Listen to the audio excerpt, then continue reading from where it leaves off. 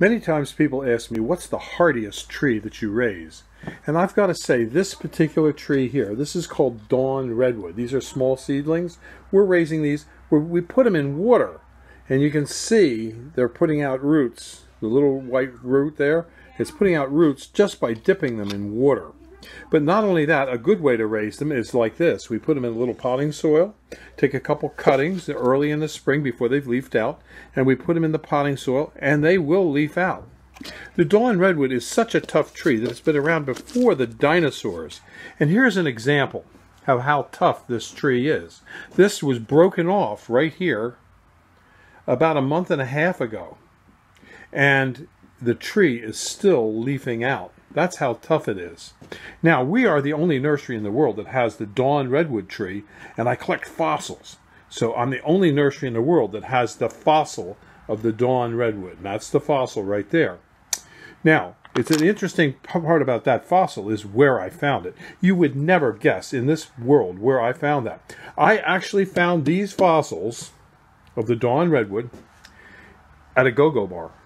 Yes, I was up in Alaska fishing and we couldn't get into Kodiak because Barack Obama was arriving in a, in, a, in Anchorage where we were, you know, waylaid, and uh, he was going to mount he, he was going to rename Mount McKinley Mount Denali, so he denied me my trip to, to Kodiak.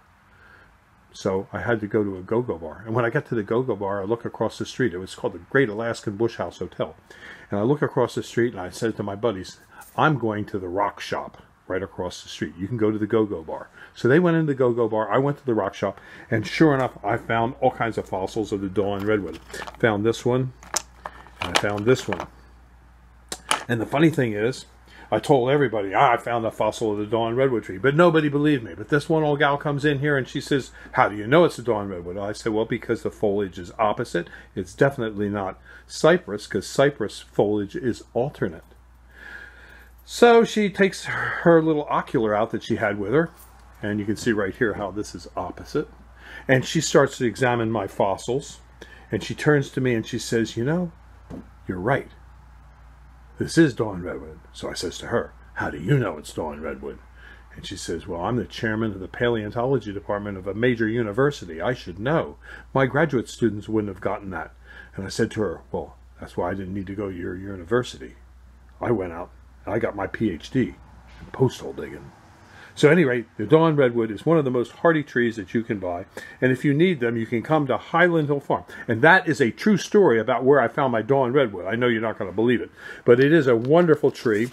And these can be used as bonsai. You can make bonsais out of these. They're also, also able to do that.